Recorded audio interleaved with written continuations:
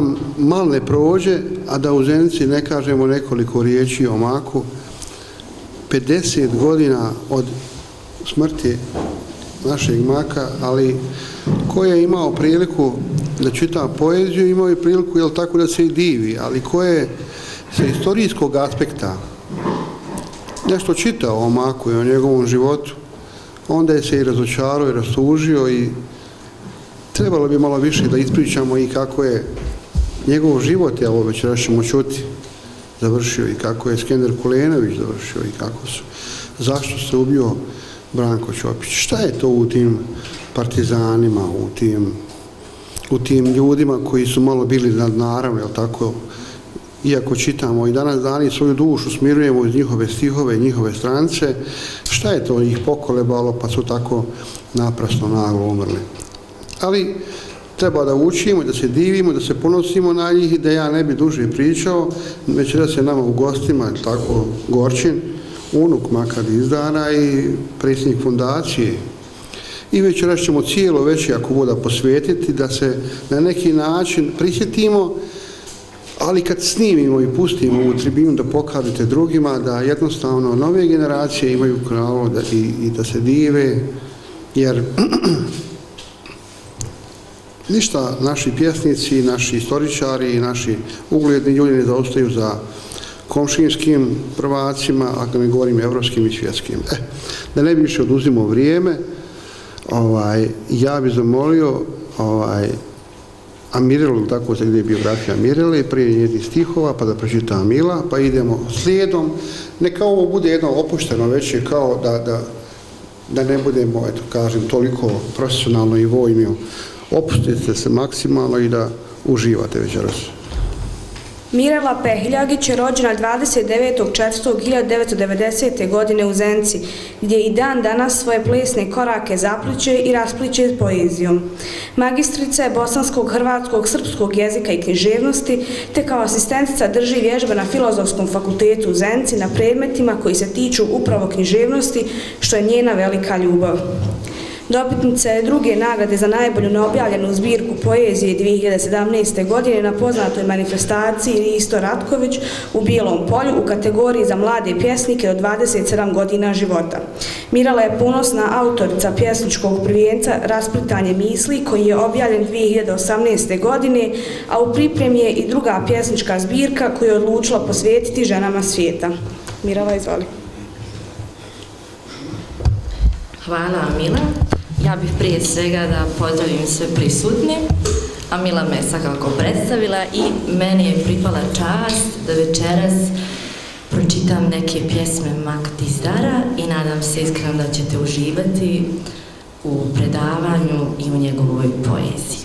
Naravno, prvu pjesmu koju sam izabrala jeste nekako i najpoznatija, jeli najpopularnija pjesma, a to jeste Modra rijeka. Nikto ne zna gdje je ona. Malo znamo, ali je znano. Iza gora, iza dola, iza sedam, iza osam. I još huđe, i još luđe, preko mornih, preko gorkih. Preko gloga, preko drače, preko žege, preko stege, preko slutnje, preko sumnje, iza devet, iza deset i još dublje i još jače i za šutnje i za tmače. Gdje pjetlovi ne pjevaju, gdje se ne zna za glas roga. I još huđe i još luđe i za uma i za Boga. Ima jedna modra rijeka, široka je, duboka je. Sto godina široka je, tisuć ljeta duboka jest. O duljini i ne sanjaj, tma i tmuša neprebolna. Ima jedna modra rijeka, ima jedna modra rijeka valja nama preko rijeke. Hvala.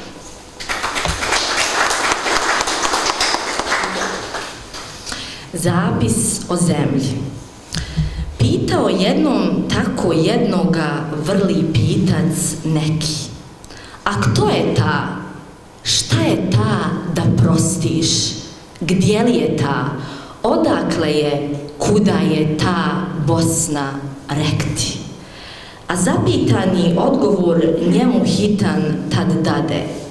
Bosna da prostiš, jedna zemlja imade, made, i posna i bosa da prostiš, i hladna i gladna, i k tomu još da prostiš prkosna od sna. Hvala. Šim Dizdar rođen je 1984. godine u Sarajevu. Diplomirao je filozofiju i njemačku književnost na Univerzitetu Oxford u Velikoj Britaniji, a magistrirao i doktorirao interdisciplinarne humanističke nauke Univerzitetu York u Torontu. Dobitnik je najvećih stipendija Univerziteta Oxford i kanadske vlade.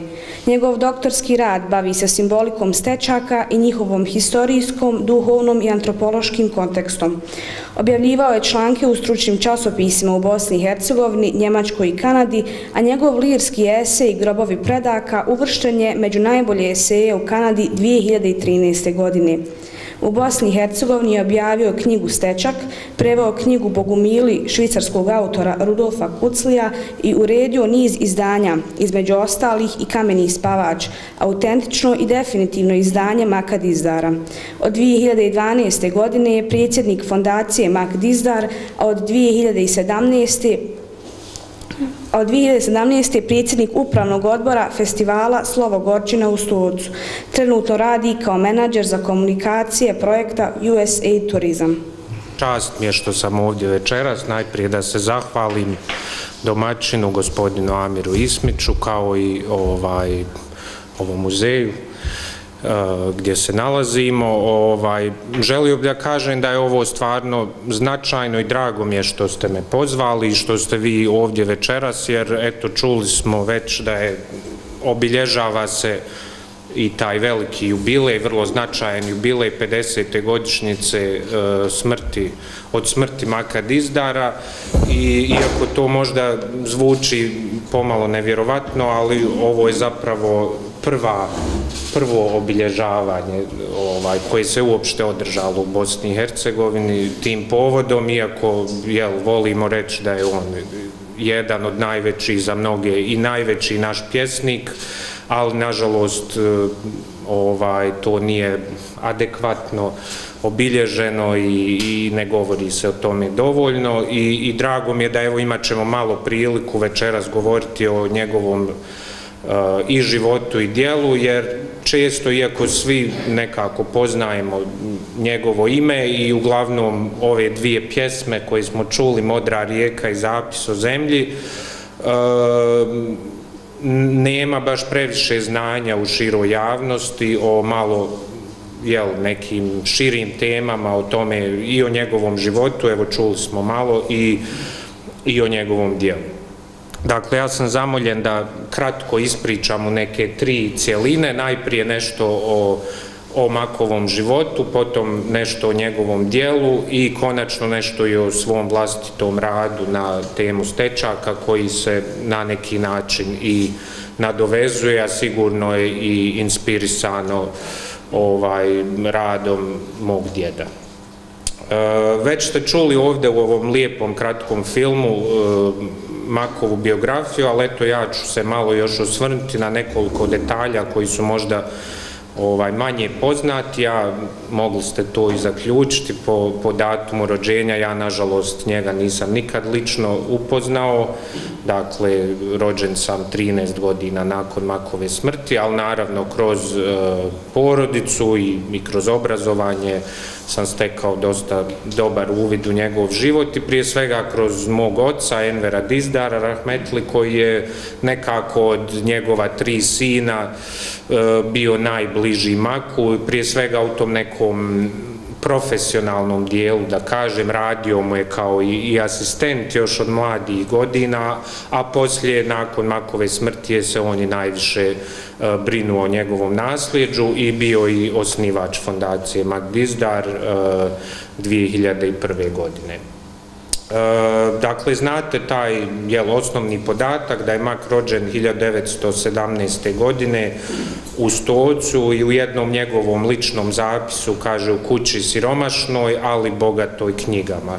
Dakle, bio je eh, eksponiran književnosti već, već od mladih eh, dana, ali imao je zaista teško djetinstvo jer je njegov otac e, bio je teško ranjen u Prvom svjetskom ratu za u Galici na, za Austrugarsku tada se borio i već nekoliko godina nakon vratio se ovaj u stolac, međutim umro je nekoliko godina nakon toga, mislim 21. godine ako se e, ne varam, uglavnom Mak je bio još dijete i nije se ni sjećao svog oca E, i već je veoma rano, dakle, u, otišao je u školu u Sarajevo za, gdje je živio sa svojim starijim bratom Hamidom, koji je bio deset godina stariji, koji je danas, eto, pomalo i zaboravljena, bio je veoma značajna također figura za, za bosansko-hercegovačku kulturu,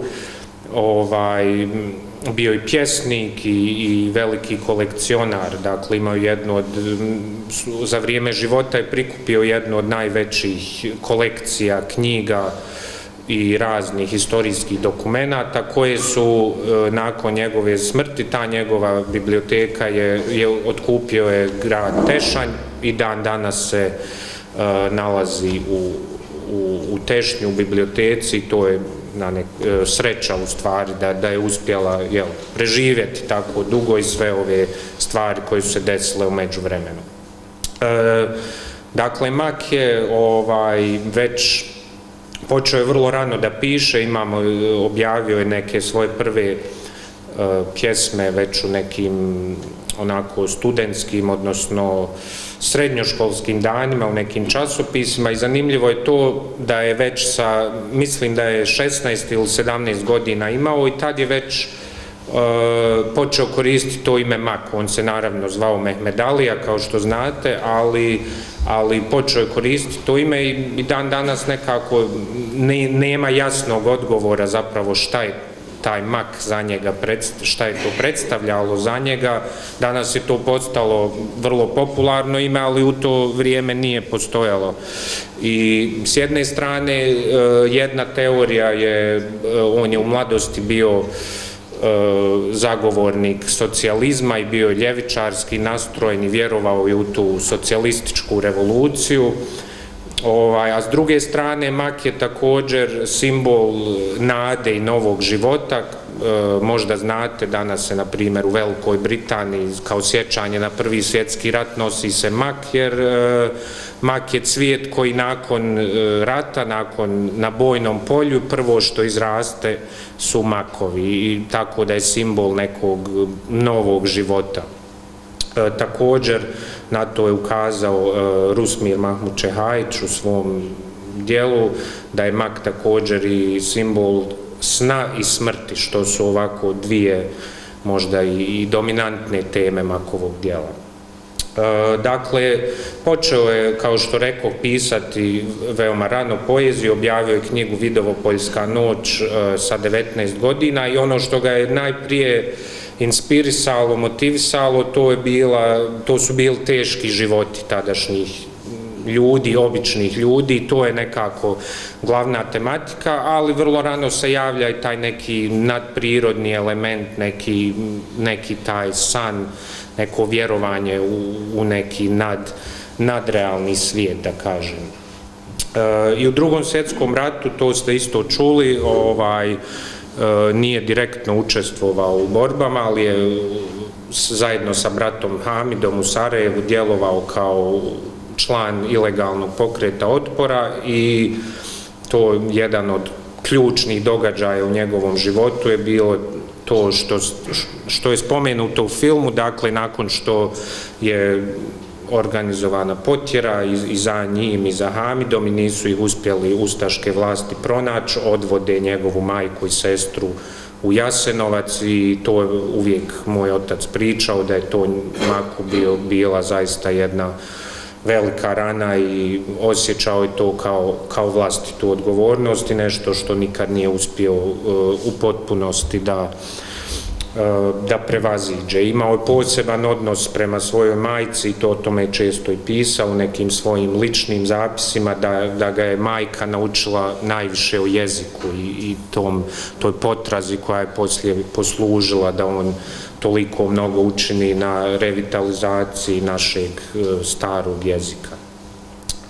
Eh, nakon drugog svjetskog rata najprije se počinje baviti izdavaštvom i vrlo brzo prepoznaje da to što, što je u stvari tadašnja vlast, da to nije baš onako kao što je on zamišljao u svojim mladalačkim snovima, dakle dolazi do, do nekog sukoba, prije svega umjetničkom smislu, jer e, u to vrijeme, u prvih 10-15 godina Jugoslavije, vladao je strogi socrealizam, dakle nije bilo baš dozvoljeno pisati kako vi želite, već isključivo e, kako je to vlast jel, naređivala, dakle moralo se pisati u čast, u slavu ili drugog svjetskog rata ili radnika i vrlo realističnim jednim stilom koji njemu nije nikako odgovarao i, i zapravo on i prestaje da, da piše u tom periodu. Imamo neki par pokušaja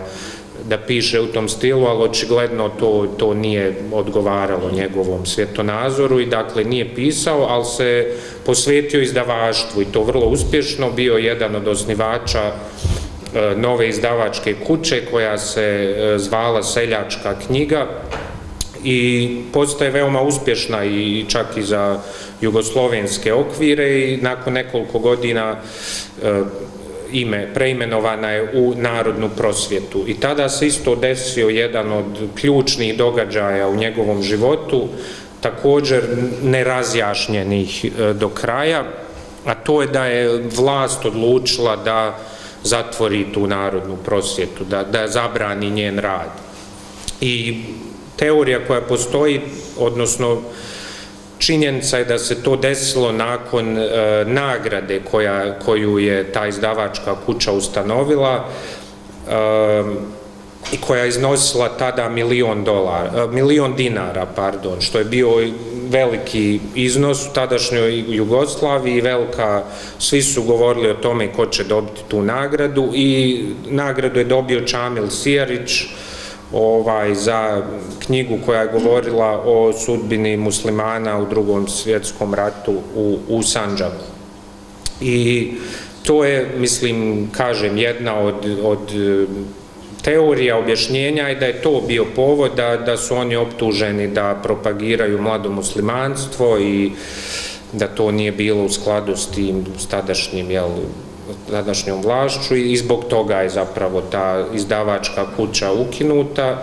Druga je također još jedna, jedno viđenje da su previše počeli objavljivati i zapadne autore koji su bili također onako ideološki sumnjivi za, za tadašnju vlast. U svakom slučaju e, on tada ostaje bez posla i nije imao nikad više zaposlenje stalno tokom čitavog života i živio je zaista u, u materijalno teškim uslovima, ali to je bilo pozitivno za njegov rad jer jer se on sve više posvećuje izučavanju, e, prije svega izučavanju, dakle, historije srednjovjekovne, generalno e, bosanske historije, bosanske književnosti, ali najviše tog srednjeg vijeka i to je isto nešto što mi je otac pričao, jer imao je tri sina i živeli su u malom stanu i on bi tek kad djeca odu na spavanje, čitavu noć radio na, za kuhinskim stolom, i proučavao je i stranu literaturu, iako je imao samo vrlo onako osnovno znanje francuskog jezika, uz pomoć riječnika je čitao i francuske knjige, i bugarske, i ruske i tako dalje i zaista duboko proučio tu čitavu tematiku i to je nešto isto što je važno za nastanak kamenog spavača, to nije nešto što je tek tako nastalo iz nekog e, umjetničkog zanosa, već je rezultat više od deset godina mukotrpnog rada i to rada koji je prvo rezultirao u zanemarenoj često knjizi, naučnoj knjizi, dakle, dijelu stari bosanski tekstovi. To je e, zbornik u kojem je Magdizdar skupio sve e, značajne tekstove iz srednjovjekovne Bosne, dakle, natpise sa stečaka, E, E, povelje i druge dokumente i zapravo ih je prvi put u toj knjizi su oni nazvani bosanskim. Dotada su oni objavljivani ili u nekim zbornicima srpske književnosti ili hrvatske, ali on je zapravo bio prvi koji je e, učinio taj logični korak, a to je da e, književnost koja je nastala u državi u srednjem vijeku koja se zvala Bosna, da ih nazove ovaj, bosanski. Ali iako i to je bitno naglasiti, s jedne strane to je značajno čisto historijski, a s druge strane on je ipak bio prvenstveno umjetnik i u toj knjizi on e, ukazuje i na umjetničku vrijednost tih tekstova. Dakle, da, da to nisu tek samo neki artefakti e, u muzeju, nego da je to nešto što mislim da on negdje piše treba da uđu i u naše čitanke i da svi ovaj nekako odrastemo uz, uz imena tih umjetnika, na primjer, što, što se nije do dan danas desilo, na primjer, malo je poznato da, da, da znamo imena oko 15 autora ilustracija na stečicima, dakle, e, oni su potpisivali svoje dijela, najpoznatiji od njih bio je Kovač Grubač, koji bi možda se mogao smatrati našim prvim umjetnikom, ali, ali eto, kažem, ni do dan danas nismo stekli tu svijest o, o, o tom značaju. E, dakle, pored toga, nakon tog e, izdavanja starih bosanskih tekstova dolazi ta ključna godina 1966. kada, on iz, kada izlazi prvo izdanje Kamenog spavača i e, doživljava jedan veliki uspjeh, neviđeni uspjeh. Dakle, Mak dobiva sve značajne nagrade i u Bosni i Hercegovini i u tadašnjoj Jugoslaviji, e, sve do zlatnog vijenca struških večeri poezije, koji je tada bio jedan svjetski značajan festival, na primjer prije njega je tu bio Pablo Neruda ili tako neka zaista velika svjetska imena, a on je bio prva osoba iz Jugoslavije koja je, e, koji je dobio tu nagradu. Mm, I dakle, on živi nekako s jedne strane kao slavan pjesnik, a s druge strane uvijek propitivan zbog tih svojih e, stavova i zbog rada i zbog stalne afirmacije e, te ideje srednjovjekovne Bosne. E, još jedan ključni trenutak u njegovom životu, dakle, pored toga što je pisao, on je u posljednjih godina bio i urednik časopisa Život, koji je, evo, postoji dan danas, a tada je bio vjerovatno najznačajniji e, naučni časopis u, u Bosni i Hercegovini i 1970. godine kada se dešavaju veliki e, prevrati u Jugoslaviji, kada se vode debate oko jezika, uvodi se jeli, srpsko-hrvatski i hrvatsko-srpski, sve više se dolazi do tih podijela i u tom kontekstu e, on je pokrenuo posebno izdanje E, tog časopisa život gdje je pozvao 15 ili 16 e, autora u Bosni i Hercegovini različitih nacionalnosti da izraze svoje mišljenje o tome šta se to, šta to mi govorimo u Bosni i Hercegovini. Jel, ako ovdje imamo hrvatsku varijantu, tamo imamo srpsku, šta je to što imamo u Bosni. I on također, pored toga što uređuje taj časopis, on uh, E, piše i veoma značajan esej koji se zove Marginalije u jeziku i oko njega.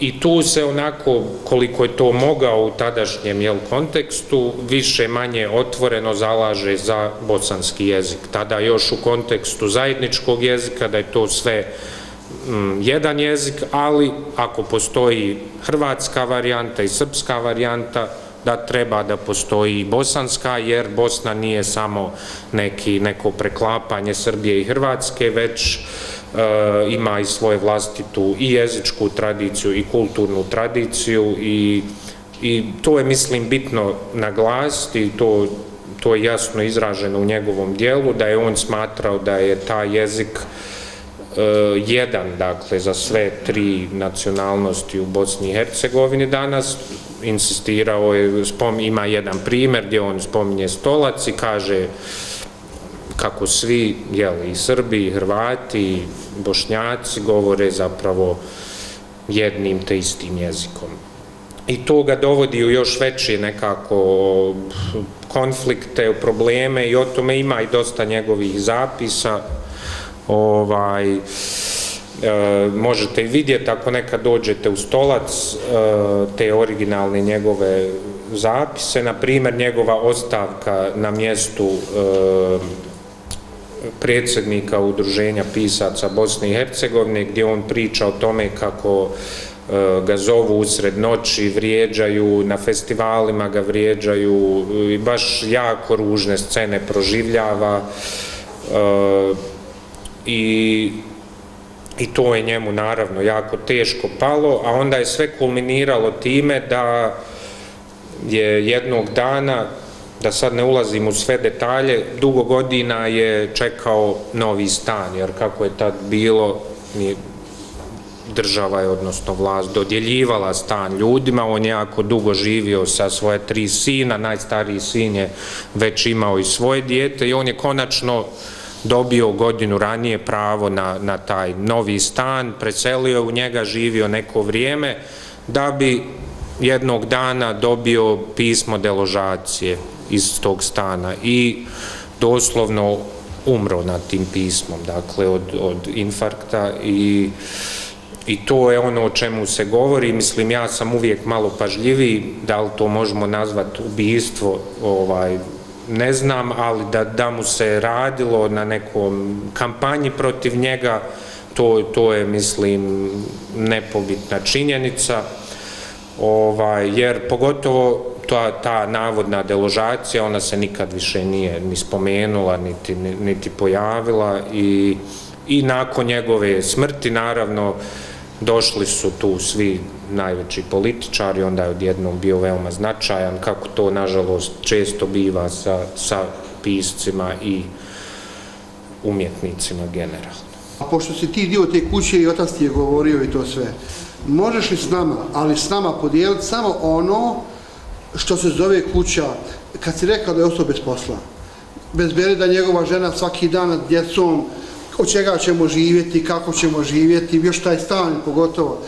Možeš nama podijeliti kako izgleda ta kućna drama gdje on šuti za stolom, a žena mu kaže od čega ćemo, kako ćemo i tako dalje. Možeš nama, a da, a da ne priđeš nešto privatno, kako to izgleda i šta on kaže njoj u tom trenutku.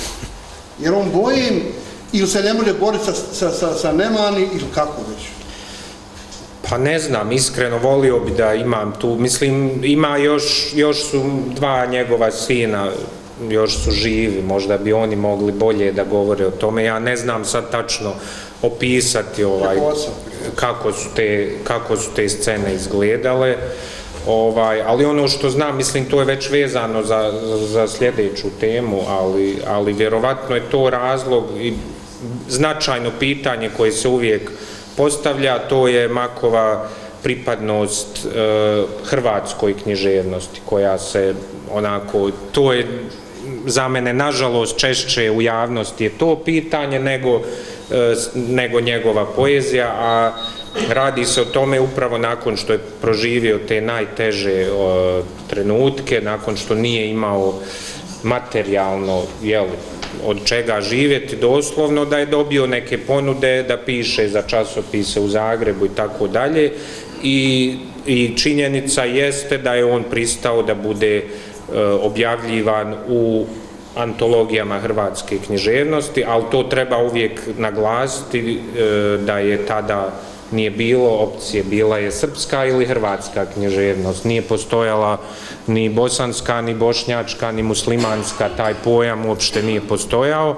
I a koliko je to besmisleno, e, pokazuje činjenica da je njegov brat Hamid e, nakon drugog svjetskog rata jedno vrijeme pisao ekavskim i smatrao se dijelom srpske književnosti. I e, to je nešto što mi i moj otac, ja ga slijedim eh, na tom putu, mi nemamo ništa protiv toga da se on smatra i dijelom hrvatske književnosti, ali značajna je razlika, ne možete reći on je bio Hrvat. To, to je sasvim, treba te dvije stvari razlikovati, dakle njegov lični identitet eh, i njegovu pripadnost književnostima, ali nema razloga po meni bar da se mi sad nešto uzbuđujemo kada se on i u Hrvatskoj izučava u, u, kao dio njihove književnosti. Mi protiv toga se možemo boriti samo tako što mu više posvećujemo pažnje i što evo, organizujemo ovakve večeri, pišemo knjige i proučavamo i pokazujemo na kraju krajeva kogod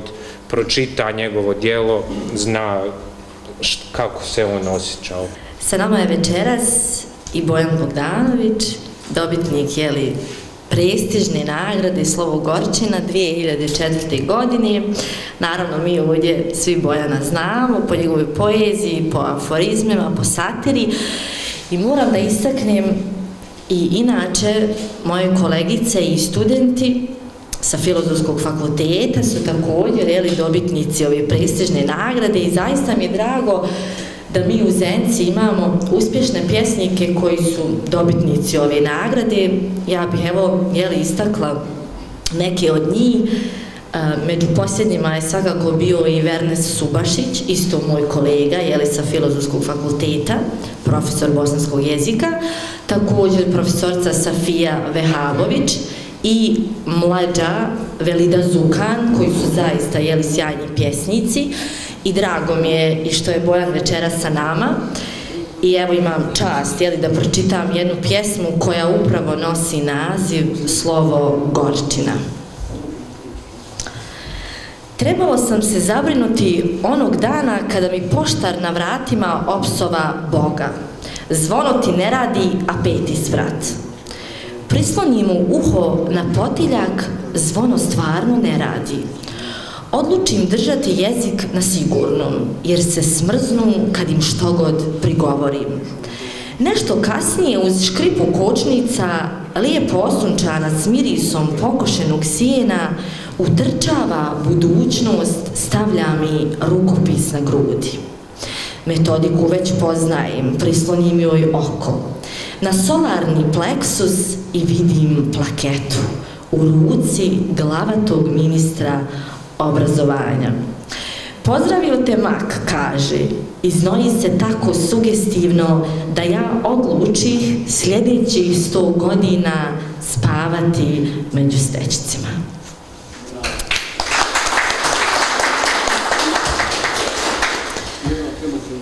Čestitamo još jednom našem sugrađaninu, a mi nastavljamo jeli, sa poezijom našeg dragog Magdizdara, zbog čega smo večeras ovdje.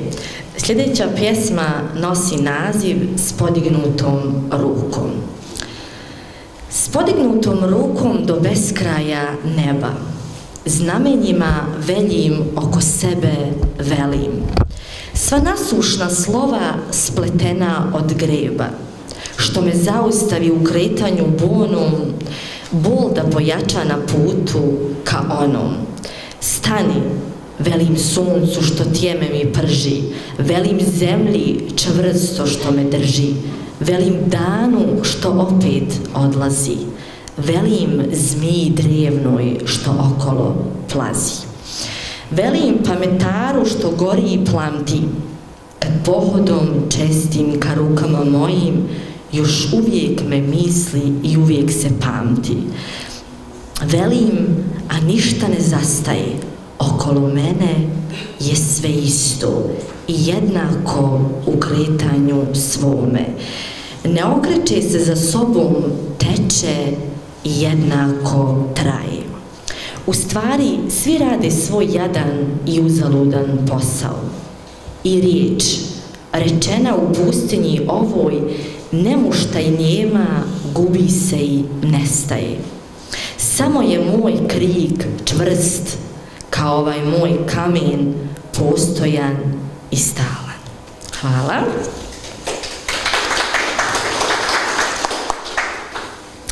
Sljedeća pjesma nosi naziv Zapis o časti. i daje vidimo vsakome komu se podoba. Velika čast svakoj vlasti koja je data od gospoda našeg velikog Boga. Velika čast svakoj vlasti što stiže nam biloma od koga. Čast kralju našem i svoj vlasteli Rusaga Bosanskog. Čast neka je kralju, otcu i kraljici majci. Čast blagorodnoj djeci kraljevskoj i blagorodnoj kraljevskoj bratiji. Čast povratima njihovim i svoj bratskoj satniji. Velikom dvorskom vojvodi čast što dvorom upravlja na čast kralju i gospodi velikom vojvodi bosanskom čas, jer bojeve vele i male vodi i predvodi. Neka je čas kaznacu i tepači, neka je čelniku i peharniku i svim ostalim uzmnožnim i umnožnim bojarima, svim knezovima, županima i drugim glavarima, svim oblastnicima, naredbenicima i vlastnicima, svim dukatarima, mitničarima, globarima i sokolarima i glavi glavnoj svim vlaškim katunarima. Čast lastnoj vlasteli velikoj i maloj, čast sestrama njihovim strinama i nevjestama. Čast muškim i ženskim otrocima, čast zetima i domazetima, rodbini toj čast i ostaloj. Čast vlasteli jako i vlastelićima. Čast svakoj vlasti velim koliko je ima. Čast i slavilcu ki postavlja povelenje o časti. Čast neka je bratio u časti i svim inim časnicima. Sa velikog stola časti neka i meni na kraju ostane nešta čast velika da skažem kmetima i kmetićima i ostalim svima kako podjela te časti bi mudra i vješta. Hvala.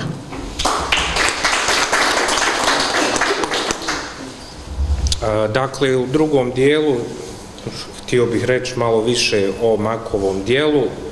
Eh, iako je teško, evo već sam i u prvom govorio jel, i, i o dijelu, jer teško je ka, kad o Maku govorimo nekako, teško je razdvojiti njegov život i dijelo, ta, tako su blisko isprepleteni, eto to čujemo i po ovoj pjesmi koju je Miki, snimak Miki Trifunova i tog lijepog recitala i poruke i putova, dakle te dvije pjesme koje Mm, tvore okvir kamenog spavača, kada i danas čitate, kao da je stvarno predvidio ono što će se desiti u čitavoj Bosni i Hercegovini, a posebno u njegovom rodnom gradu, u Stocu, koji je zaista, kako je on napisao, uništen do temelja i, i zapaljen i, i vjerovatno grad koji ako gledamo čisto e, na, na infrastrukturu, na, na ono materijalno grad koji je možda stradao više od, od jednog drugog u Bosni i Hercegovini, a opet je na neki čudan način i neočekivan se dosta ljudi vratilo, iako daleko od toga da, da je situacija tamo e, dobra, da mogu reći, ipak se donekle desilo to, to što o čemu on govori u svojoj pjesmi da se ljudi opet vraćaju i da ti koji to, to čine, te zločine, jednostavno to ne mogu da shvate šta je to što, što vuče ljude i što ih ponovo vraća u tu ovaj svoj u, na svoju domovinu grudu. I, I zaista ima nešto posebno u tom gradu, eto to sam i lično doživio, ne znam da li ste ovaj, ikada imali priliku posjetiti stolac, ako niste, dođite, evo ja sam možda kao dijete bio par puta, ali onda tek negdje sa 20 godina su moji roditelji tada pokrenuli tu ideju da se osnuje muzej i, i, i počeli tamo češće da idu. Ja sam lično nekako tada živio u Engleskoj i mislio da se, da se neću vratiti u Bosnu i Hercegovinu, ali više, veći mi je bio faktor stolac nego, nego Sarajevo u kojem sam rođen. Ali dobro, uh, sve to vezano za, i za Makovo dijelo i kako on stvorio nešto od, e, zapravo krenuo je od od lokaliteta, od Radimlje, najpoznatije nekropole Stečaka, koju je obilazio kao dijete i koje je tada još, evo ja se time i bavim i pokušavam naći tragove takvih običaja, vjerovanja, nažalost skoro da su ovaj sasvim izumrli, ali on baš u kamenom spavaču piše o tome kako je uh, još kao dijete odlazio sa, sa majkom i sa drugim ženama iz Toca na, na nekropole gdje su se, uh, koje su tada još služile kao dovišta za kišu. Dakle, to je još uvijek je nekako bilo živo to vjerovanje u, u svetost, svetost tih prostora i vjerovanje koje i prevazilazi ove naše konfesionalne e, granice, dakle to je bilo neko uh, zajedničko blago.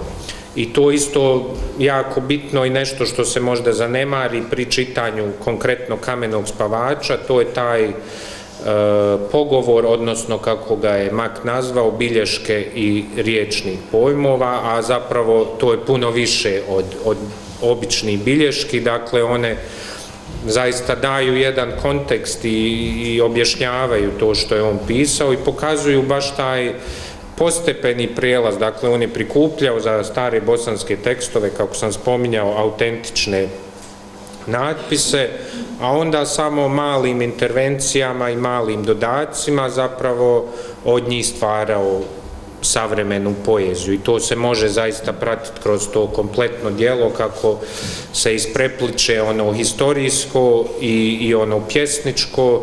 Isto tako i sa jezikom. On je e, jako puno radio na tome da nađe stare riječi, da nađe pravu riječ. E, I, ali ponekad je i stvarao nove riječi, dakle neologizme koji zvuče kao da bi mogli biti srednjovjekovni, a zapravo nisu, zapravo ih je on stvorio i čak i stručnjaci nekad nisu sigurni, o tome su, je napisano i više eseja i, i knjiga, ja mislimo specifično samo o tome šta je Mak radio kroz svoju poeziju, kako je on revitalizirao taj E, srednjovjekovni e, bosanski jezik. E, I dobra je zapravo pjesma da, da se shvati njegov metod, to je pjesma Gorčin koja je, eto, po kojoj sam ja dobio ime i po kojoj je e, i festival taj u Stocu, slovo Gorčina, o kojem smo čuli e, koji je ove godine slavio svoju 50. godišnjicu, dobio ime, a zapravo to je i E, prva pjesma koju je Mak objavio na tu temu, na, na temu srednjovjekovne Bosne, ima jedan njegov uh, zapis, bio je na uh, plitvičkim večerima poezije i pročitao tu pjesmu i on tako piše da je tada, to su bile još 50. godine, nije ni sam bio siguran je li, je li to je li na pravom putu, istraživao je nešto novo, ali dobio je mnogo uh, komplimenata i podstreka od, od svojih kolega pjesnika i zapravo je od te pjesme krenuo taj desetogodišnji put koji je na kraju doveo do kamenog spavača.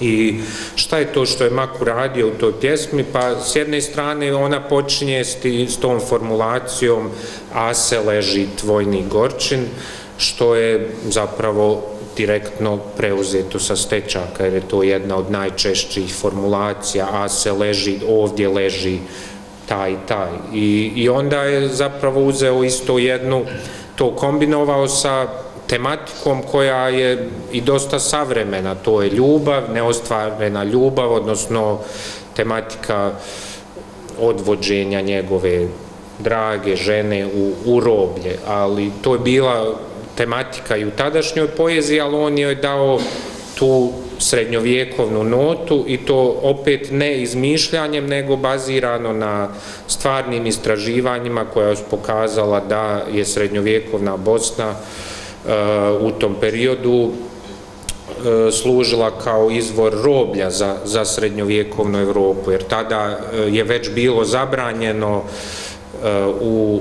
u Evropi da, da se kršćani odvode u roblje, ali pošto ta tadašnja bosanska crkva nije smatrana e, istinskim kršćanstvom nego herezom, o čemu ćemo još malo razgovarati. To je bilo, zaista imamo dokumente o tome da su ovdje žene odvođene u, u roblje, u Italiju, u Francusku i tako dalje. I dakle, on je upleo taj, taj motiv, tu, tu stvarnu historijsku činjenicu u svoju pjesmu. A ono treće, treći taj moment je isto i šta je to, kakav je to rat koji taj Gorčin vodi, a to je u stvari, kako, evo, da pročitam, dakle, mrava ne zgazih, u vojnike odoh, bez štita i oklopa. Kakav je to rat? Kakav je to rat koji se vodi bez štita i oklopa i gdje se ne zgazi ni mrav. Pa to je unutrašnji rat koji je opet motiv koji je uzeti od savremene i, i od islama, od sufizma i, i od zapravo svih religija mistički taj put borbe u vlastitom biću koji je duhovna podloga njegove poezije. Dakle, to su neki elementi koje on uh, uvijek nanovo jako uspješno uh, isprepliče u, u svojoj poeziji. I to je ono zapravo, to i pokazuje kako barem po meni treba čitati tu poeziju i tu je jako značajan ovaj citat koji smo malo prije čuli, e, na kojeg se ja uvijek rado vraćam kad govorim o Makovoj poeziji, gdje on kaže da nisu u pravu oni, e, jeli, tumači koji kažu da, da se njegova poezija može svesti na stečke. Stečci, srednjovjekovna Bosna su povod, kako on kaže, a tematika je univerzalna. Dakle, to je umjetnost koja se obraća svim ljudima svijeta i ona se tako može i, i treba tumačiti. Ali opet to je, to je zapravo ta krajnja verzija. Ipak ona prva i prvi značaj njegove poezije je to, ako ga možemo tako nazvat, oživljavanje tih, tih srednjovjekovnih likova iz naše historije, e, buđenje kamenih spavača i e, to je možda, mislim da je to iz današnje perspektive drugačije izgleda, jer ipak koliko god je i dalje ta tematika i srednjovjekovna Bosna koliko, i stečci koliko god i dalje bili zanemareni, ipak smo ih mi uveliko prihvatili, svi znamo šta je to, učili smo u školi, ušli su učbenike, znamo svi da je tu to nekako dio našeg identiteta, naše prošlosti, ali to tada nije bio slučaj i to su mi pričali stočani, stariji koji se sjećaju da nekada je ta Radimlja koja je danas najznačajnija nekropola koja je uvrštena i u UNESCO svjetsku nasljeđe, da je to jednostavno stajalo neko kamenje, doslovno tako kažu, pored ceste i nije niko obraćao pažnju na to. I to je ono što je Maku stvarno uspjelo, ja mislim, toliko je on doprinio toj u široj svijesti da mi to počnemo shvatati kao nešto svoje, da ja ne znam, e, rijetko pročitam u medijima neki tekst o stečcima da ne spomene sintagmu kamen ispavač. To, to je za nas postalo skoro pa kao jedno. Mi, mi stečke zapravo više doživljavamo kroz makovu poeziju nego kroz samo historijsko istraživanje. E, ali to je značaj još jedan element tu ima, jer e, e ja mislim i tako i kroz njegovo dijelo i ono što znam, da je Mak prije svega bio humanista i vjerovao i borio se za malog čovjeka i to je ono što mu je ostalo još, još iz mladosti.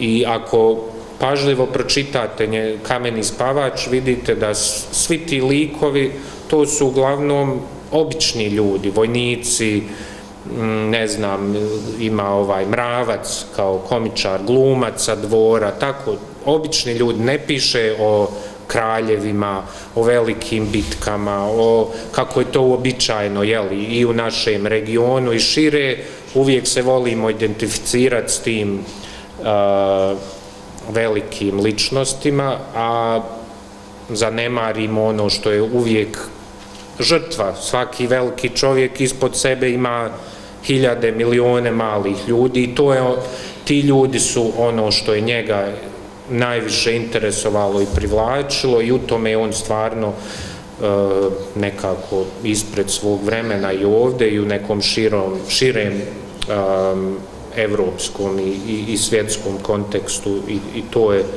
to je ta jedna prvi nivo značena njegove poezije. Drugi nivo je ta paralela između današnjeg u njegovo vrijeme, a evo, nažalost, traje i danas, današnjeg vremena i te srednjovjekovne Bosne i tu njegovi, mogu samo nešto da pročitam pa u tim upravo uh, ovo je pogovor, samo da nađem kako je on to tačno rekao, da ne pogriješi. Aha, e, on završava zapravo svoje ove, ovaj pogovor, riječnik, riječima Bosni je bilo suđeno da sanja o pravdi, da radi za pravdu i da na nju čeka, ali da je ne dočeka. I nekako, koliko god ta bila bolna poruka, ovaj, to, to je neki za... I kad proučavamo tu srednjovjekovnu bosansku državu koja je na kraju nije nestala, ali pretvorena u nešto drugo i ne možemo se ote dojmu da, da se nešto slično dešava i u današnjem vremenu, da se vodi velika borba za identitet, za, za opstajanje te, E, te države i to je ono što nalazimo opet i kroz njegove e, likove. Dakle, evo, opet se možemo vratiti na Gorčina koji na kraju poručuje nešto nama, kaže, ako kosaru sretnete na putevima gospodnjim, skažite, molju skažite za vjernost moj, obraća nam se danas i nekako u, uvodi nas, i, i nas u tu priču, čini nas jednim. Ili ima drugi dobar primjer, e, ne znam koja je to pjesma tada, Vuk rodi Vukca, Vukana i tako, i, i govori zapravo o generacijama e, isti, jel, jedne porodice gdje svaki sin gine za neku novu vlast i to se ponavlja kroz pjesmu, kroz pet, šest ovaj, generacija i onda završava i tako do dan danas. Dakle, da se ta ista sudbina na neki e, jel, čudan način ta, te paralele između srednjeg vijeka i, i današnjeg vremena. A opet on čini možda stvari o kojima nije smio baš u to vrijeme pričati otvoreno, e, kroz poeziju uspio da, da ih prenese.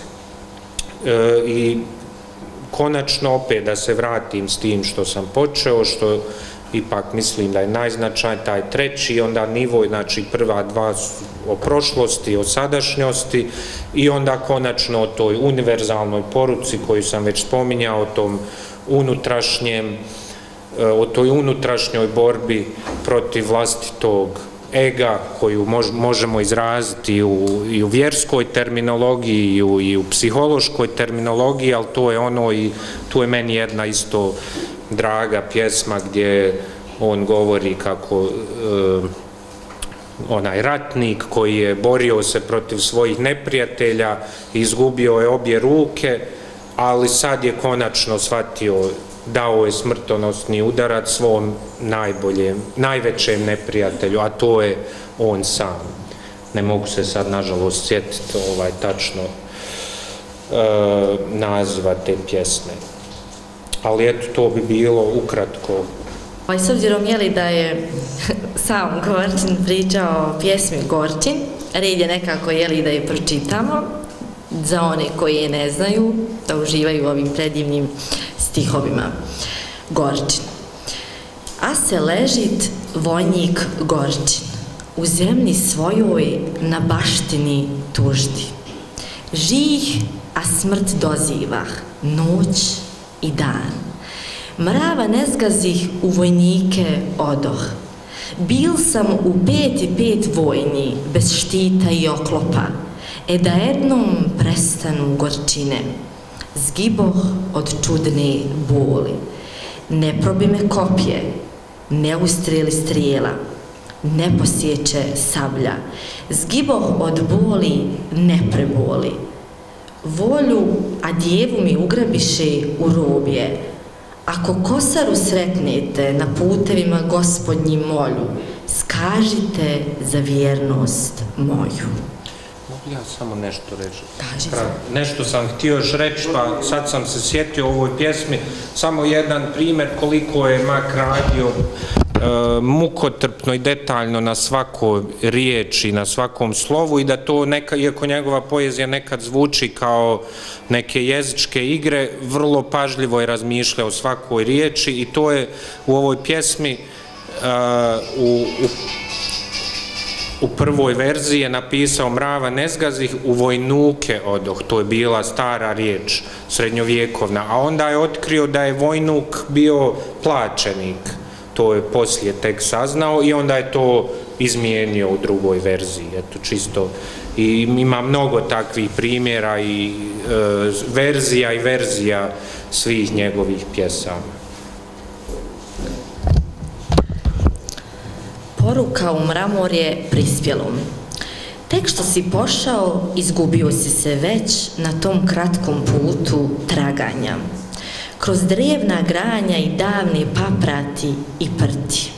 Uz neka laka i plitka vaganja o prošloj slavi i stravi.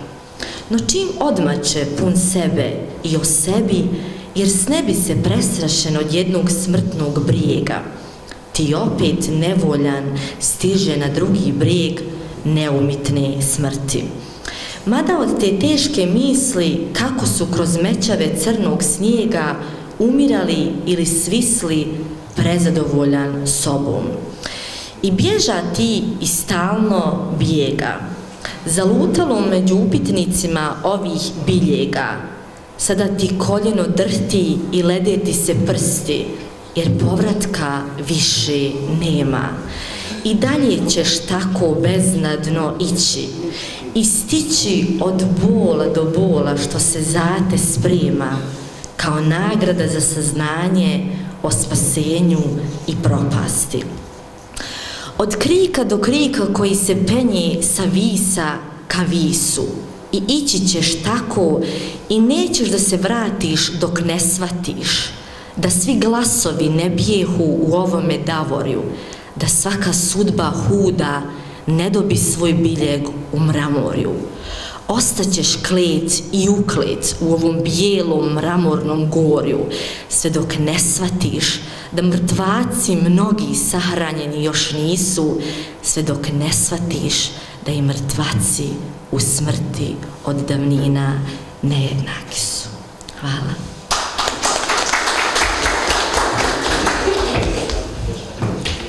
E, moram i o ovoj pjesmi nešto zanimljivo da kažem, zapravo, zapravo ta pjesma, to je posljednja pjesma koju je Mak napisao pred, pred smrti, ona nije, nije ušla, to je naknadno e, profesor Enes Duraković uvrstio u, u kameni spavač i vjerojatno i nedovršena jer je dosta onako slobodna, tako je Mak ima običaj pisati, ispiše pa onda ona tek polako da dobiva neki oblik, ali vrlo zanimljiva pjesma. E, sada još kratko, evo ja sam predložio čak da večeras ne otvaram još i novu temu stečaka i svog vlastitog rada na tome, evo, da ponudim i mogu drugi put doći, samo, da, ne, samo kažem da ću rado samo o tome da pričam drugi put, a evo, pokušavam sad to šta da kažem u pet minuta o stečicima, pa evo reći ću kako, šta je moj e, rad na njima bio i kako sam ovaj, mene najviše zanimala tema koja još uvijek e, nekako nerazjašnjena. Do, mislim, mi dan danas znamo vrlo malo o stečicima, koliko god ovaj, oni već i bili prepoznati donekle i eto dobili taj UNESCO svjetski status. Vrlo malo je rađeno savremene nauke na tu temu. Dakle, mi, na primjer, što se tiče, evo, najosnovnijih podataka broja stečaka, mi se još uvijek oslanjamo na podatke iz 1960. godina kada je Šefik Bešlagić i njegov tim e, istraživao nekropole sa neuporedivo slabijim tehničkim mogućnostima nego što mi to danas imamo. Drugo, jedino što nam može dati neke konkretnije odgovore, to, to je arheologija, da malo više znamo o, sta, o ljudima koji su tu leže ispod stečaka, mislim, svi ste gledali emisije na, na, na televiziji, šta sve danas nauka može da otkrije na, na osnovu jel, nekoliko organskih ostataka. E, nažalost, ono što mi imamo nije ni blizu tome e, i potrebno je puno raditi na, na tom polju, a moj rad se najviše ticao e, simbolike koja je još uvijek u nerazjašnjena i, i to je to ono, ako mogu jednu stvar da kažem, to je moje uvjerenje na osnovu dugogodišnjih istraživanja da je to zaista jedan e, jedinstven umjetnički fenomen, da, da nešto takvo ne postoji nigdje na svijetu, ni, ni u svom vremenu, ni šire e, i da je veliki problem što se danas i, i u tom polju vide neke nacionalne tendencije, odnosno nacionalističke, a to je da se pokušava, evo isto kao što je bio slučaj i, i sa jezikom i na kraju krajeva s našim identitetom, a to je da se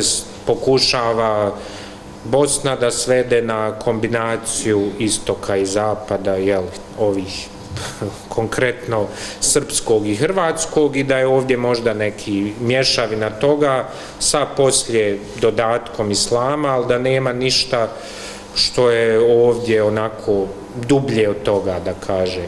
A ja mislim da, da stečci to dokazuju, da je ovdje i još i u tom periodu ovaj, postojala jedna zasebna, jedna jedinstvena kultura i čiji značaj nadilazi i region i ne treba ga svoditi samo na to što što nas naravno opterećuje ovdje ta svakodnevna borba i uski okviri našeg regiona, da je to, to jedna svjetska tema, ti simboli se, na, da bismo shvatili te simbole, moramo istraživati i rimske katakombe i, na primjer, srednjovjekovnu kavkazsku umjetnost, to je nešto što sam ja imao priliku putovati u današnjoj Armeniji, pronaći našo, mislim, nisam ja pronašao, zna se za to, ali nije baš prisutno u literaturi, da tamo, na primjer, postoje nešto vrlo slično stećcima,